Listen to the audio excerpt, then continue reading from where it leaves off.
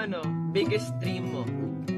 Sa, sa buhay ko, ah, na, na tuloy-tuloy lang sana yung yung kung anong merong payapa dito sa puso ko. Kasi sobrang basta mag, maganda yung yung feeling ko ngayon na parang yung puso ko ay puno-puno ng ng peace, punong-puno ng ng happiness.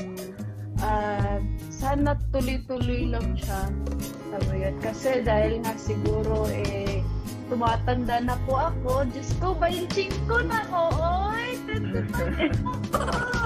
Ang dami ko na natutunan sa buhay ko na kung saan ay natu ang pinaka natutunan ko talaga yata talaga ay natutunan ko na hindi ko makontrol kung ano yung yung tingin ng ibang tao para sa akin o o kung ano yung sasabihin nila sa akin.